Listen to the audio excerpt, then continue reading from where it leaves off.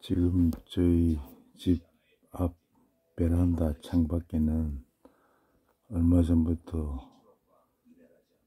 까마, 까치 두 마리가 집을 짓더니 지금 알을 다섯 개나 낳아서 포란 중입니다.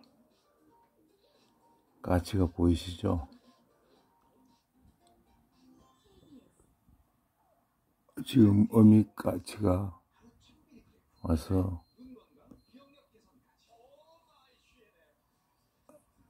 알을 품고 있는 까치에게 먹이를 전해주고 있는 모습입니다.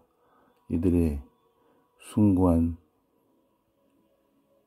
사랑 모습이고 서로 도와가는 생명의 잉태 모습이 정말로 아름답습니다. 신기합니다. 한 마리는 지금 망을 보고 있고 한 마리는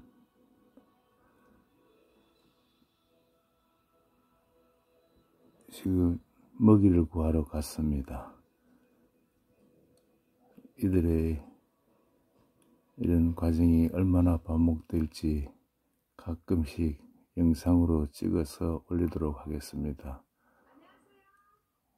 저희 아파트는 12층인데 몇 년 전에도 이런 일이 있었습니다만 그때는 집만 짓고 알은 낳지, 놓지 않고 가버렸는데 원래는